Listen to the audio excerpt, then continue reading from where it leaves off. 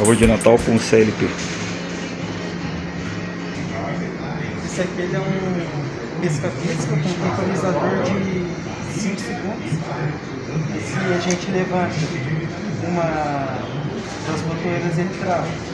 Aí se volta, Dá um pulso. Que é 0.0 e se fecha. Aí pra abrir, você dá um pulso em 0.0.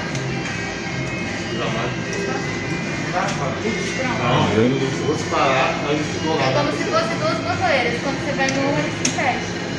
Aí você tem que apertar de novo e no 0 ele abre.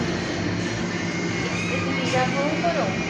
Primeiro liguei esse, 0.1 e 0.2. Aí os seis estão funcionando. Simula um motor que ele é de potência e independente. Aí para desligar ao mesmo tempo.